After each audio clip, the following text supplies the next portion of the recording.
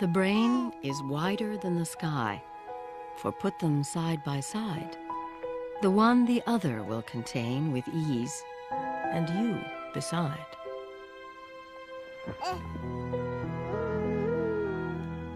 The brain is deeper than the sea, for hold them blue to blue. The one the other will absorb, as sponges buckets do. The brain is just the weight of God, for heft them pound for pound, and they will differ, if they do, as syllable from sound.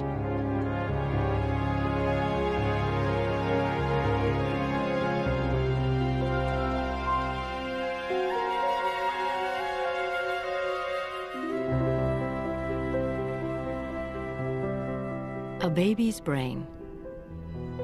Less than one pound of gelatinous tissue, and within its milky, convoluted folds, a universe of meaning. Emotions, ideas, memories, dreams, all will somehow find a home here, evolving and changing over a lifetime. The ultimate machine and the ultimate source of everything. We understand the world the way we do because of the brains we have. We will understand the brain itself the way we will because of the brains we have.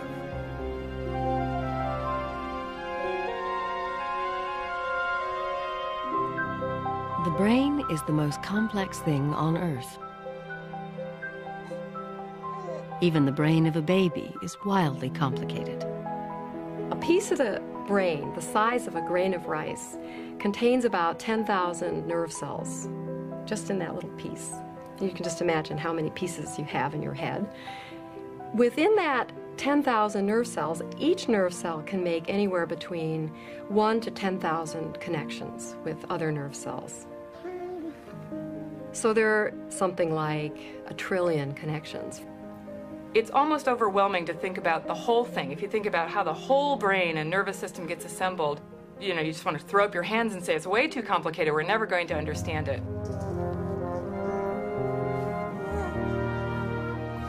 The brain is the seat of our consciousness, of who we are. And in understanding where it comes from, we understand where we come from.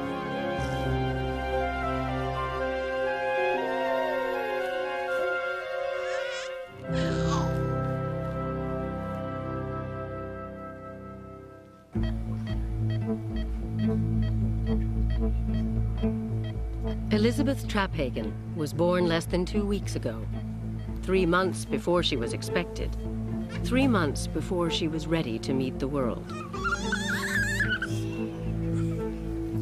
She was 28 weeks and six days. She weighed three pounds and she was 14 inches long. It was somewhat frightening not knowing what a preemie would look like.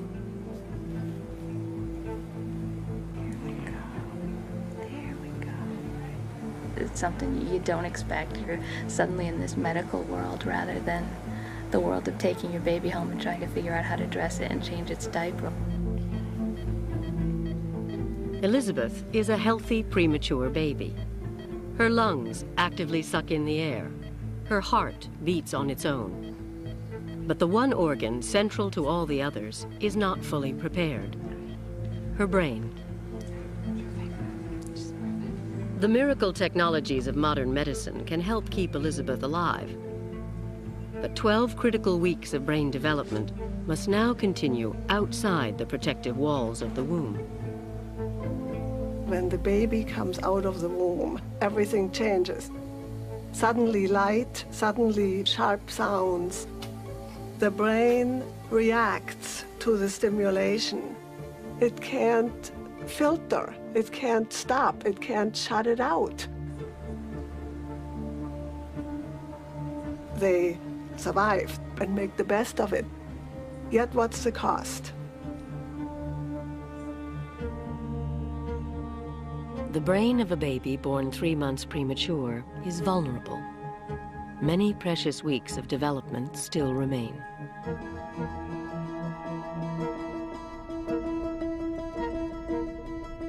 Billions of brain cells are not done forging links with billions of other brain cells.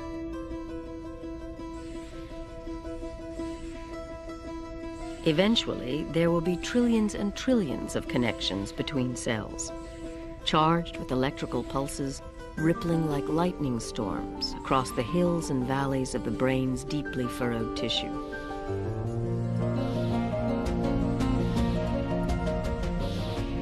Every cell in its place, every link between cells carefully organized. Nothing random, nothing arbitrary. What we would really love to understand is how the brain during development generates millions and millions of neurons, sends them to the right position in the brain, and then somehow instructs each of those individual nerve cells to form very, very specific connections with one another. You can think about development like a play. A play that follows a script that is written down by the genetic code, but it has no director, it has no producer, and it has a bunch of actors that have never spoken their lines before. Despite all this, you pull the play off. To me, that's a miracle.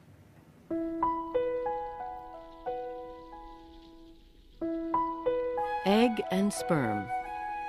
Their union forms a single cell, which will divide and divide and divide again.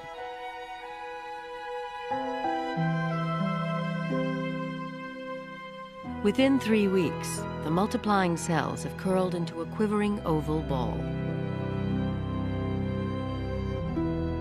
Inside lies a cluster of cells that have begun to fold themselves into the shape of a garden hose, the neural tube. From the bottom will come the spinal cord. From the top, the brain. Here lies the primitive beginning of all our thoughts and feelings. By four weeks, just as a woman is discovering she is pregnant, the first brain cells, the neurons, are already forming at an astonishing rate. 500,000 neurons every minute. Neurons that will never reproduce themselves and rarely be replaced. And that's amazing because if you think about it, most cells in your body turn over. If you think about your skin, you're constantly, it's sort of disgusting, you're constantly sloughing off dead skin cells. And someone calculated once that if you look at the turnover of skin across a lifetime, you're probably generating and shedding about 90 pounds of skin. So most cells in the body do their thing, and then they die and they're replaced. Neurons are born in fetal life, and then those very cells are the ones that are still functioning all the way into old age.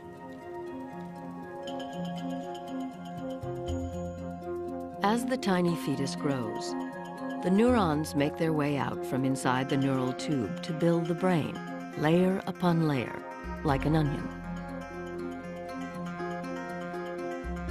The neurons follow a cellular pathway as if they were traveling down a highway. They just grab hold of supporting cells called glia and propel themselves along. They put their nucleus in the back of the cell, which makes them sort of fat in the back, and then they hold on to the guide wire, this glial fiber. So it's kind of like an inchworm as it moves along. And each little cell goes all by itself in what is a very, very vulnerable process no other kind of cell has to do that. And it's just an amazing thing. Neurons travel in waves, millions every day embarking on a daunting expedition that scientists call migration. It's an amazing phenomenon because it's as if they're going across the country. I mean, in terms of the distances relative to their size, they're, they're making a huge odyssey through all kinds of foreign territory and the most amazing thing about this migration is that they generally do it without mistakes. They're following cues along the way that are telling them exactly where to go. For years, scientists wondered how the migrating neurons find their place in the brain. Do the neurons simply travel in herds, gliding down a glial highway which takes them to their final destination? Or do neurons do their own driving, each neuron genetically programmed to fulfill its own predetermined purpose? We used to think that migration was just like delivering cells out a conveyor belt, and you just dump out the cells at the end. But now we know that's not the case. There's evidence that shows that young neurons have an idea about where they're migrating to and that they can recognize their position within the brain. In her laboratory at Stanford University, neurobiologist Susan McConnell devised a series of experiments to track the destiny of a migrating neuron.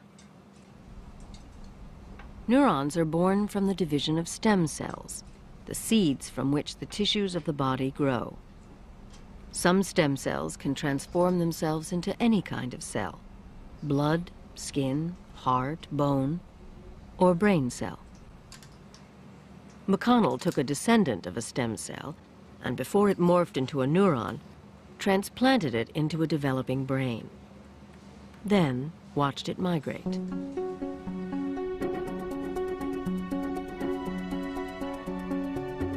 She found that the fate of the soon-to-become neuron was determined by the neurons that were its neighbors. It traveled beside them and took on the same function they did. That cell is plastic. It's still listening to signals from the outside.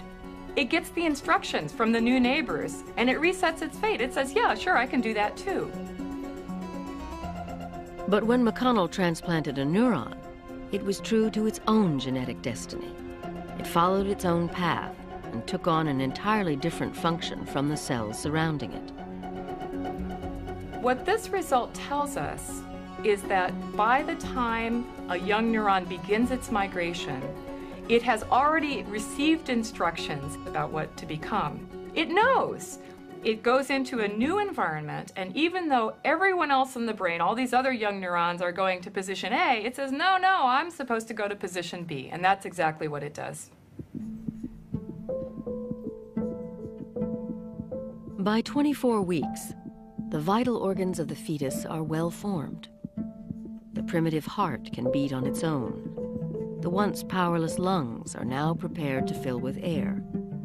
And the brain has nearly its full complement of billions and billions of neurons, reaching out to each other, building connections with mind-boggling speed, nearly two million every second, until the brain has become a tightly packed network of trillions of crisscrossing wires with more connections than stars in the sky.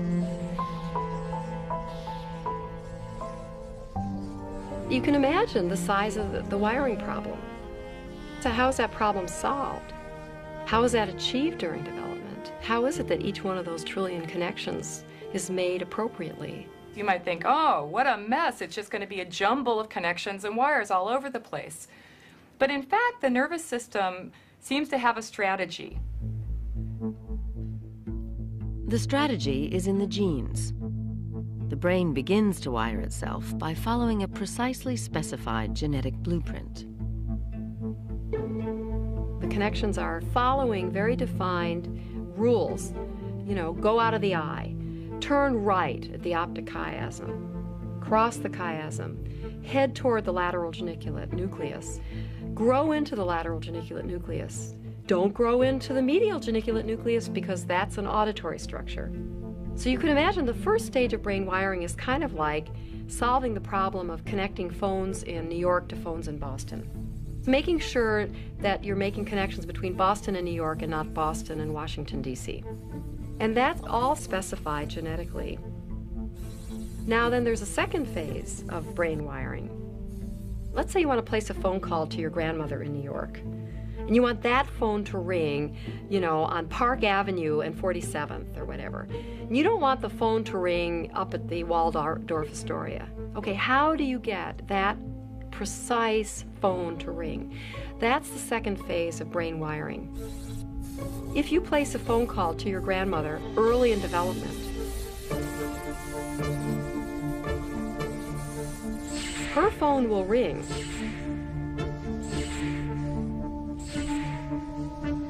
but so will a lot of other phones. So there are a lot of connections that are made. If the connections are correct and being used, they get strengthened. If they're not being used, or they're only being used occasionally, they're lost. We could call it use it or lose it. So the fetal brain is really a dynamic structure that's constantly changing in response to this process of strengthening appropriate connections and pruning inappropriate connections. Getting the circuits all tuned up takes a long time. So it can't happen overnight because you have literally billions of connections to check.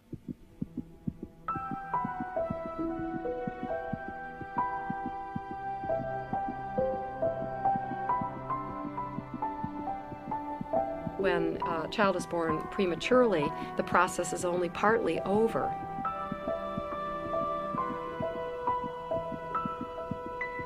So a huge amount of brain wiring is having to happen in the nursery.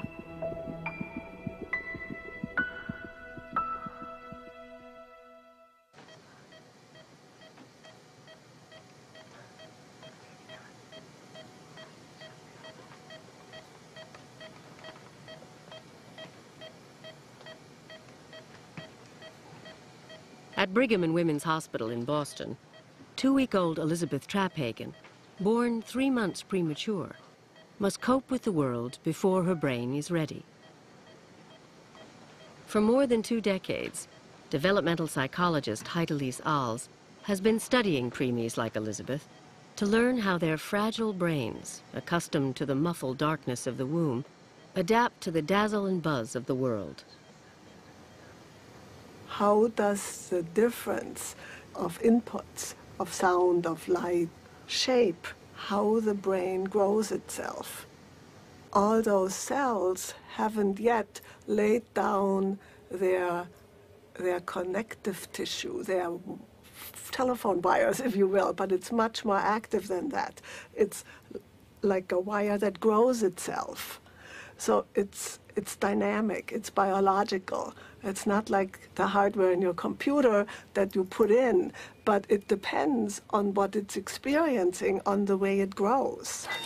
2290226 Thanks to the technological wonders of the modern intensive care unit, most premature babies survive. Came, came down to 4.75, but nearly half will have difficulties later in life. Difficulty paying attention, difficulty learning. They will have trouble with planning, imposing structure, prioritizing. As they grow up, they appear as very bright children, and they are. Yet they can't hold their own in the second grade classroom. Als and her research team believe that the glare and clamor of the intensive care unit itself is part of the problem.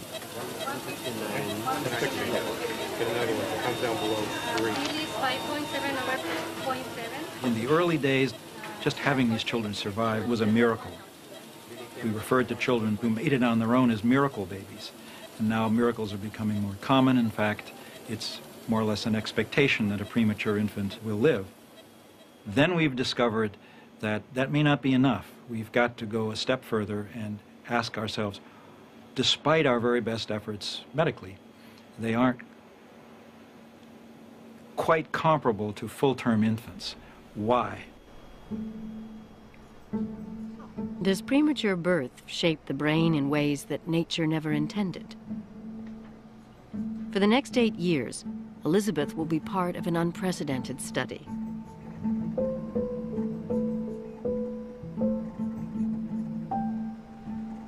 EEGs will record her brain's electrical impulses. Magnetic resonance images reveal her brain's hidden structures. Yeah, it's bright in here for you. I know. We may be able to do something about. Elizabeth doesn't know it yet, But Heidelise Als has now become part of her life.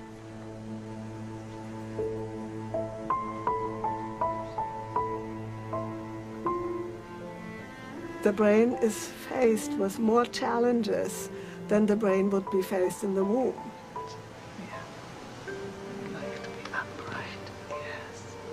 In the womb, she doesn't get food directly into her stomach. She gets food via the digestive system of the mother. And she isn't lying in a bed. She has all that support. And she doesn't have to breathe on her own. The mother's whole body takes care of it.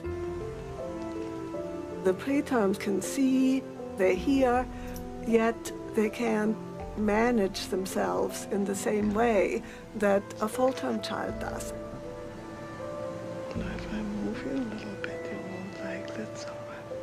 They will be much more hypersensitive, more easily overstimulated. Few impressions get, can be managed easily. They all go in and flood. Yeah. So you have these big overreactive responses that cost the baby tremendously. Yeah. So then you say, well, can I do something about it? I think I can't really see where you are. How you doing there? As I can't see her face. Can you see her face? Yeah, she, Is she okay? okay. All right.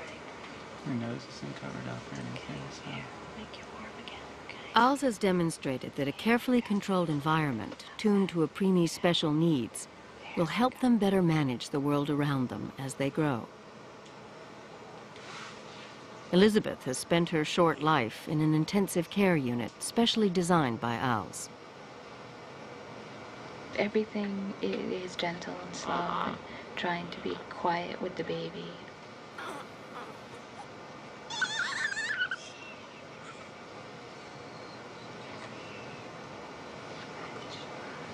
Trying to emulate the womb where she'd hear muffled sounds and it'd be dark. And then the, the skin to skin contact, she can hear my heart um, and, and that she's close to me and and she and it's nice because she does does seem to recognize me. She settles down and finds her spot and settles in. And and that's a great feeling when you're leaving her care up to people who are much more qualified for, for, for most of her daily life. It's nice to know that she knows who mom is.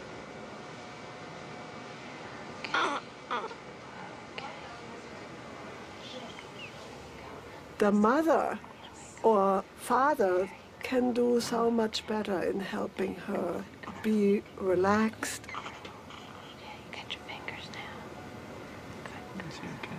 The mother has the baby on the breast. That's what the brain, that's what the body of the baby, the nervous system, has been promised. The womb, the breast, the closeness of holding, the body of the parent, and the family, the social group that makes that family feel confident.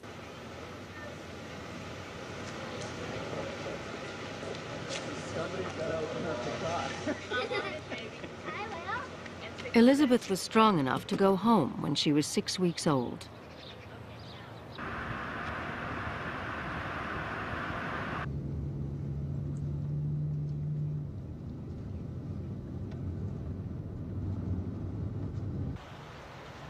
Now it's up to her parents to continue the gentle care begun in the hospital.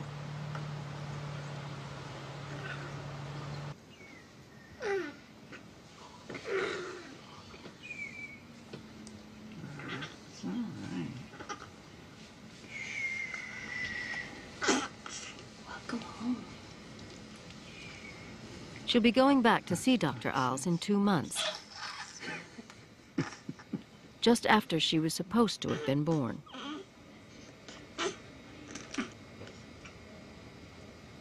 Als wants to compare Elizabeth's brain to the brains of other premature babies. Preemies who spent the first days of their lives in a standard hospital intensive care unit. Will the special treatment Elizabeth received make a difference? How much influence does the world around us have on the developing brain?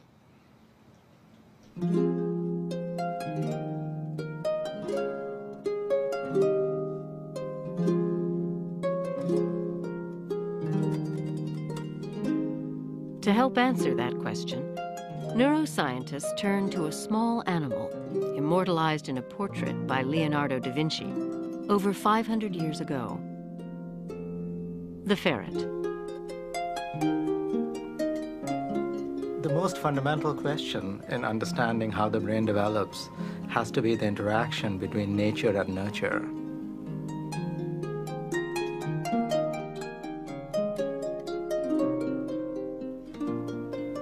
We know that the brain has different areas that do different things, such as the visual cortex at the back of the brain, or the auditory cortex in the middle of the brain.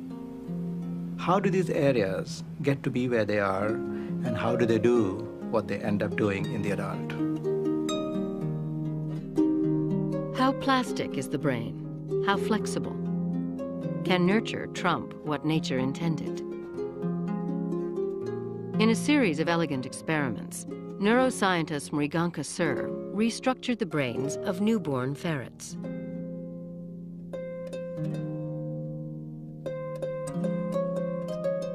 In the normal ferret, light striking the eye creates electrical waves that travel to the visual cortex. Sur rewired the ferret's brain, hooking up the eyes to the auditory cortex, showering the hearing parts of the brain with electric waves generated by the light. We reasoned that if we can make visual inputs from the eye go to the auditory cortex that normally processes hearing. Would the hearing cortex now become like a visual cortex or a seeing cortex if it grew up with vision uh, rather than with audition?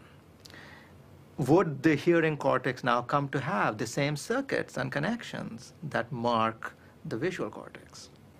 If it doesn't, then nature or the genetic endowment is of the essence. If it does, then the inputs are important or nurture is important. Then the animal would see. By recording a series of images directly from the brains of his rewired ferrets, Sur provided evidence that the ferrets could see. With normal ferrets, the activity of the neurons in the visual cortex takes on a characteristic pinwheel shape. With the rewired ferrets, the auditory cortex describes a similar pinwheel design. The brain has been transformed, but not entirely. Instead of 20/20 vision, they will have, let's say, 20/60 vision, meaning that they see at 20 feet what a normal ferret would see at 60 feet. The characteristic pinwheel is still there, but it is less orderly, slurred, Environment shapes the brain, but can't completely change genetic destiny.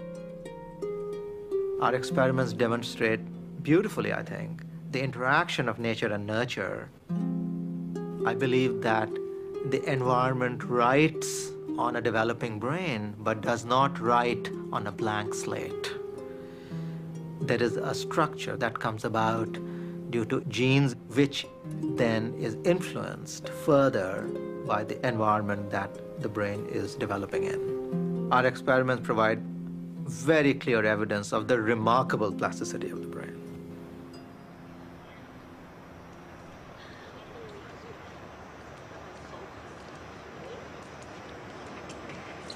Three weeks after the day she was supposed to have been born, Elizabeth's parents brought her back to see Heidelise Als at Children's Hospital in Boston.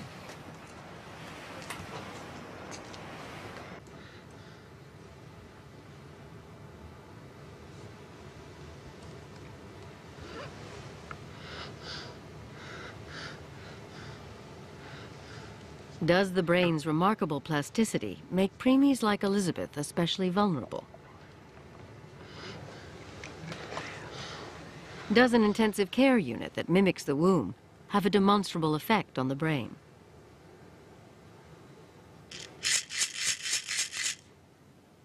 Once again, Als observed Elizabeth carefully.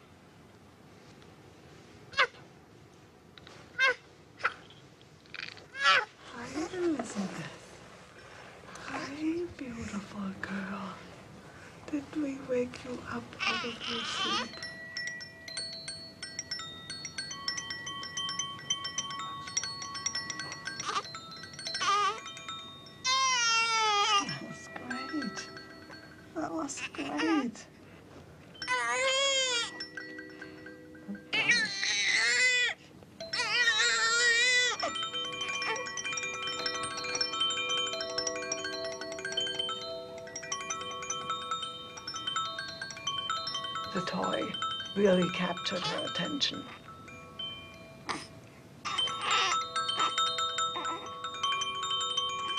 She just brightened right up to it, and her eyebrows up, and her eyes curious, and her face shaped forward. And she followed very smoothly in all directions, and up and to the side, and in a full arc. So that's wonderful for just about three weeks after due date. And she did very nicely with the light. So although that kept coming, she shut it out with just a little bit of breathing adjustment on her part uh, in terms of her strength and all her reflex repertoire.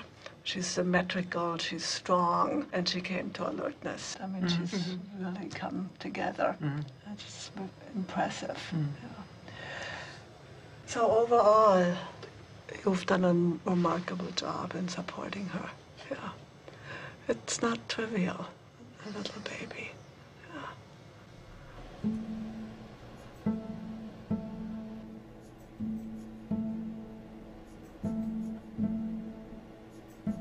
Elizabeth appeared to be doing well. But she was enlisted in another round of tests to learn if her behavior corresponded to measurable changes in her brain.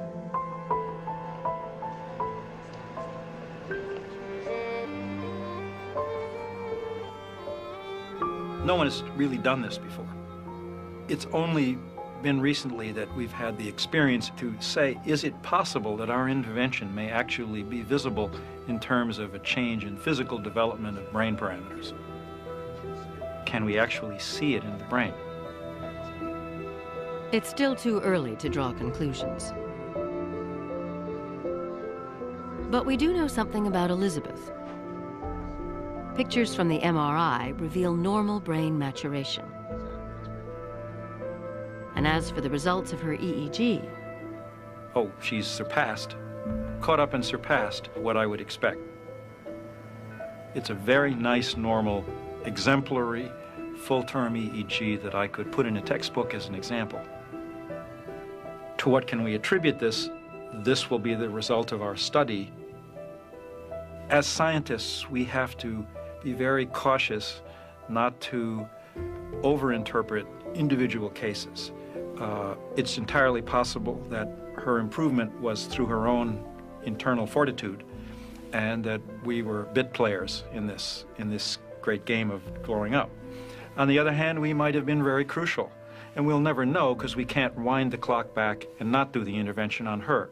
So what we have to do is have a population where there is no intervention, population with an intervention, and compare them as a group. There'll always be a star in the non-intervened group who comes through well, and there'll always be someone that we, we just couldn't help. Uh, but on the average is what we're looking for, and that's what the scientific method is all about. Elizabeth. whatever the reason, Elizabeth is improving every day. Hi. How's my girl? And for her parents, that's enough. There's a great possibility for Elizabeth to have uh, normal brain development. And that's just such a huge gift.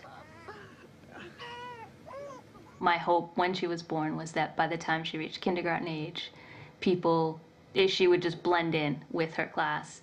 Um, but there seems to be a very good chance that on her first birthday, she will be starting to toddle like any other one year old, and that, that would be great.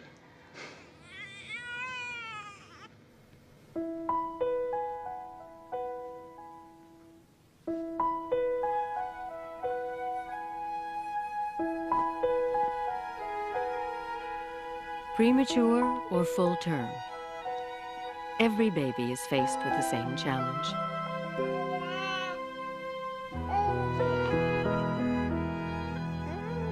Awash in novel sights and sounds, babies must begin to learn how to navigate a roiling sea of sensations.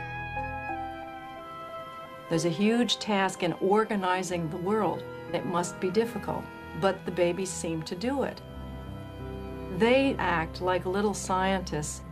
They actively explore and construct uh, a view of the world. And in that sense, they are parallel to what we as scientists uh, do our entire lives and what uh, all of us do as we try to negotiate a very complicated world that's constantly under change.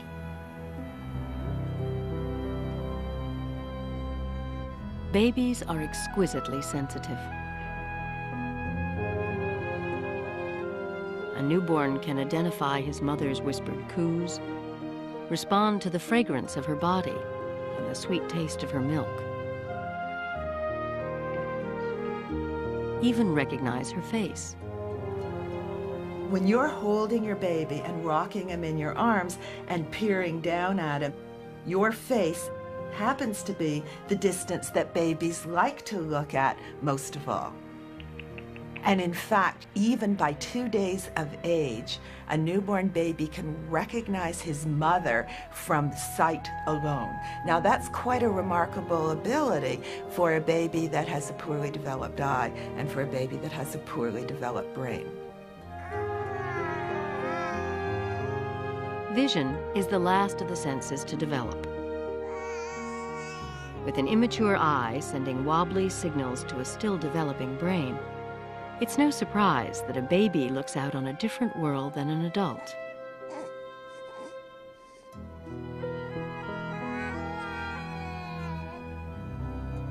What the baby is seeing then, we think looks something like a faded photograph. If you take a photograph and sort of fade it out so that it's all washed out, and if you're looking at the faded photograph through a tube, then that is what the world would look like to a newborn baby. The fact that the baby doesn't see very well, in a sense, is very good for an immature brain. And that's because this immature brain cannot handle excess stimulation. So what the eye is doing is dampening down that external stimulation, making it something that the brain can handle much better. But it's also important to remember that no matter how dampened down that stimulation is that's going into this very immature brain, that stimulation is critical. What happens if the brain doesn't get the stimulation it needs? What if light falls upon the eye, but never reaches its destination? Holly McMillan is just five weeks old, a healthy, normal baby. But her right eye is clouded by a faulty lens, a cataract that must be removed at once or she will never see like a normal child.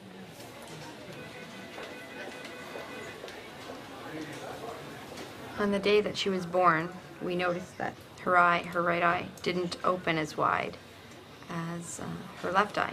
But in my family, I have a sister and my father that have an eye that's a little bit, just a little bit smaller than the other, so we didn't really think anything of it.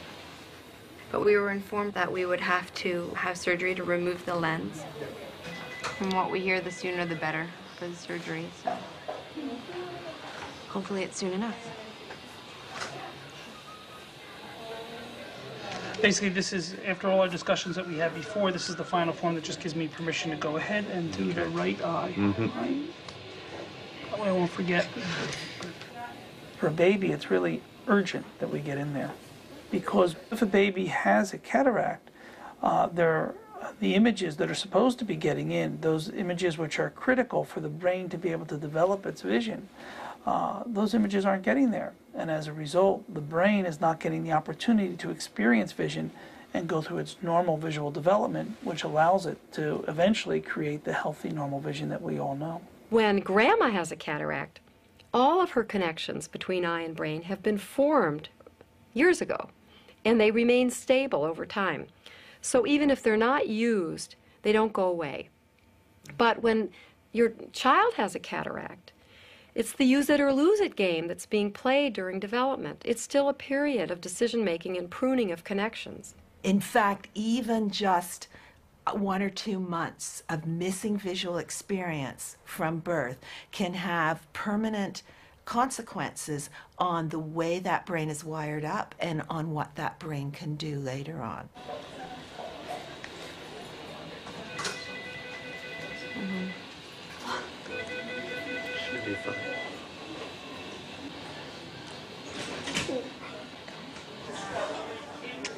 Okay, cutie pie. Here's a. Thank you. See you soon, okay? Take good care of her.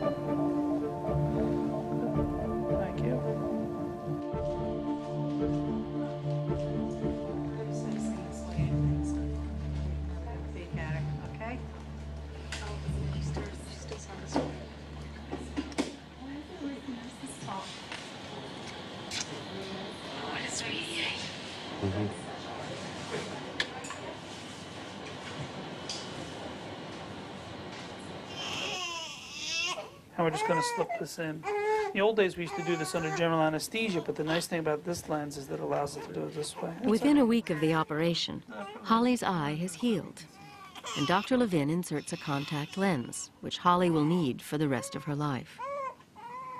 For the first time, Holly's right eye is sending clear images to her brain. The key is if you just put your hand right underneath it, you can feel the eyeball underneath, you'll be fine. All of a sudden, it's as if the eye was open to the brain. It's the same as if the baby came out of that dark jet black womb and all of a sudden opened their eyes in a delivery room somewhere. But Holly's vision is still in danger. For at least five years, until her visual development stabilizes, she will have to wear a patch for most of her waking hours over her good left eye, or else her brain will never learn to use the right eye to see. If the good eye was not patched, there is no point in having the surgery at all. There's no point in having the contact lens. You have this weak eye that has to fight for cortical connections with a totally normal, strong, good eye. And that totally normal, strong, good eye, if allowed, will take over all the brain space, leave nothing for the deprived eye, and the deprived eye will get weaker and weaker. Sounds a little counterintuitive. Patching the good eye should cause the same problem that the cataract did. But in fact, it doesn't, and we really don't understand why that is. And you can patch that good eye intensely and virtually never see any adverse effect of that. That's one of our mysteries. Now, Daddy, if you'll just shut your eyes as I show you each one of these cards. Holly's cataract has been removed. But how well can Holly see? Okay, we got one beautiful look over there. Just minutes after Holly receives her contact lens, psychologist Terri Lewis examines her vision by watching whether a finely calibrated series of patterns captures her attention. You can't play the game with your eyes closed. No, you can't. We find that even within 10 minutes of first being able to see, the baby can see as well as a normal newborn. That tells us that the brain can mature up to some point without any visual experience, up to the newborn levels, because certainly there's no visual experience while the baby's in utero. Although cataract babies like Holly see as well as newborn babies, they don't see as well as babies their own age. Here we go, Holly. But they catch up quickly. It's shocking how quickly vision improves after that contact lens is put in. We found that within one hour, we have a significant improvement in how well the babies can see. Now, why this is so exciting is because it tells us that although the brain is no better than that of a normal newborn in the absence of visual experience, once it gets that visual experience, it's ready to go. It's champing at the bit because that first little bit, even that first hour of visual experience, is going to send that brain into action faster than it would in normal development.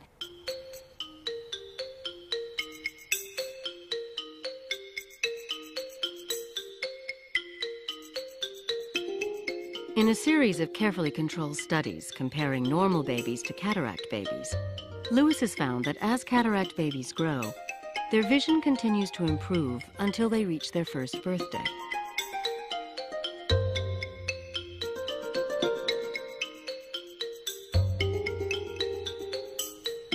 The children do begin falling behind after a year.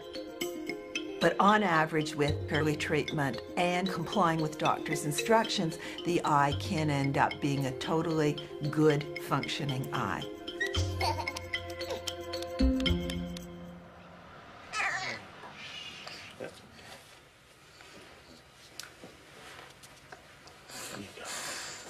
It has been seven months since Holly's surgery, and her parents have been diligently patching her good eye.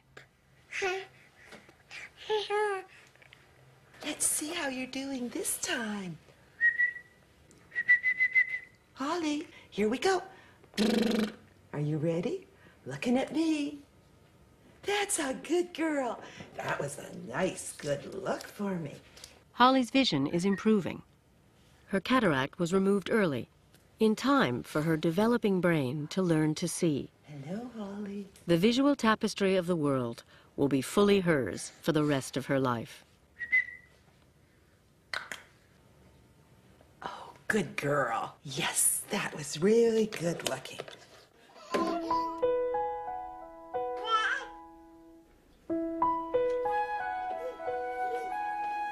When we are babies, our brains are more open to the shaping hand of experience than any time in our lives.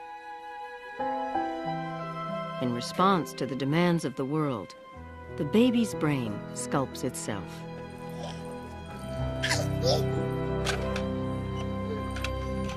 The brain of a baby is like a work in progress. We're not really building circuits from scratch anymore. We've done that.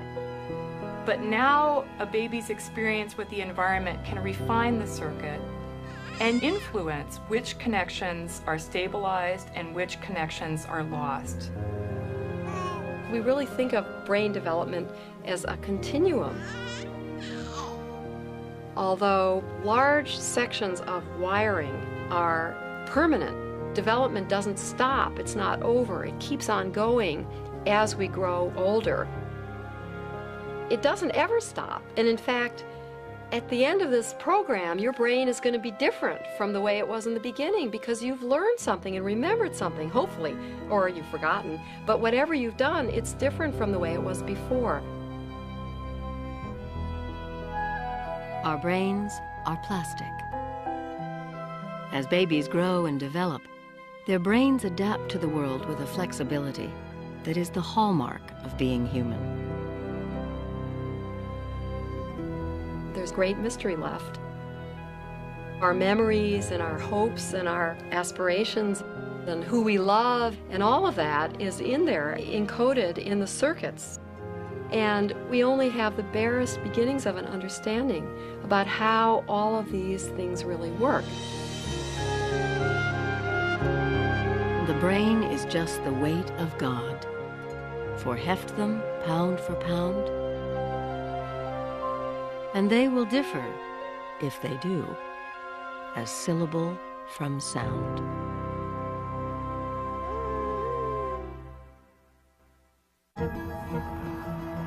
Join us for the next four episodes of The Secret Life of the Brain and follow the brain's remarkable journey through a lifetime. Childhood can be one of the most wonderful periods of all of life because we have everything to discover. The child's brain and the miracle of language. how does a child learn to talk No, it's me, Rachel. How about this one? and to read? What happens if something goes wrong? I have this um, this thing in my brain that's called dyslexia.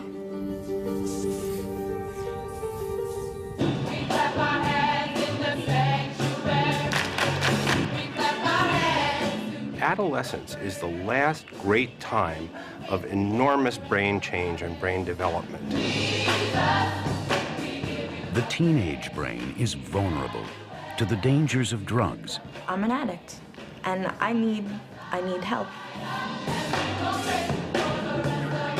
and the chaos of schizophrenia. I spent 19 years with the same personality, and all of a sudden it was taken away.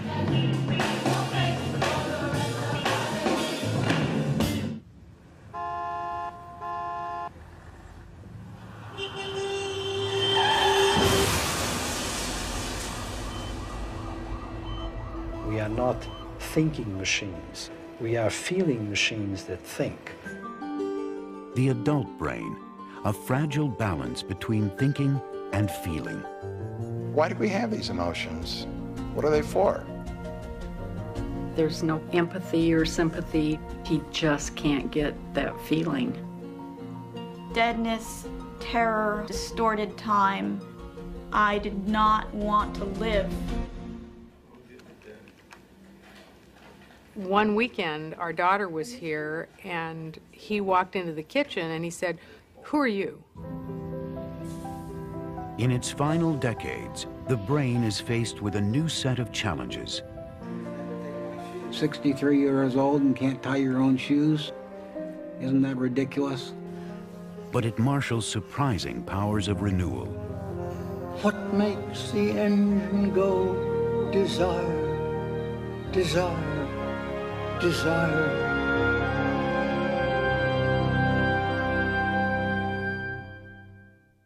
Take a 3D animated tour of the brain at PBS Online. Find brain teasers, take a cognitive test, and more at pbs.org.